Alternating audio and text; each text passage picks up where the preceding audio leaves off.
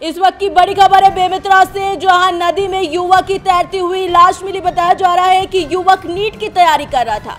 CBI जाँच के बीच नदी में तैरते मिली युवक की लाश, हत्या या आत्महत्या, जाँच में जुटी पुलिस। गोताखोरों की टीम घटनास्थल पर सुबह से सबूतों की तलाश में जुटी।